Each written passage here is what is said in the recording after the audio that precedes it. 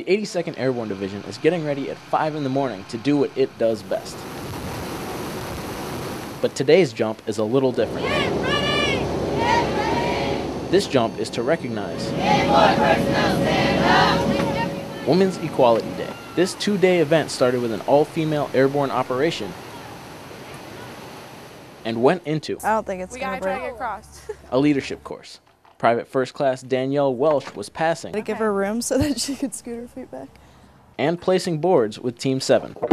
There were a few setbacks, but in the end, the team did well working Yeah, together. keep leaning. Keep coming closer. Put somebody, one person Sorry, in the keep middle coming and get on the closer. ends. It's more about working together We could do it. and doing a, a course like this can really prove that, that women can represent. Oh, Specialist Tony McCaslin, Let's try to jump. We have to Fort Bragg, North Carolina.